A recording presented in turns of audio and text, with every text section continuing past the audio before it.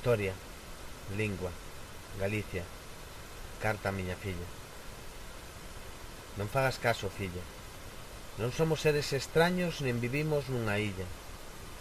Non lle debemos nada a ninguén, non choramos unha civilización caída.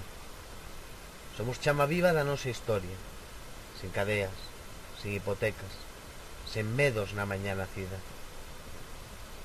Non fagas caso, filla.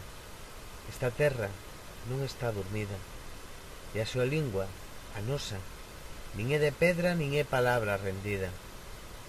As nosas mans son caudal, o noso verbo río. Podemos soñar o que queiramos e acadar os soños cos beizos enchidos. A nosa ollada non ten complexos, non ten que buscar permiso.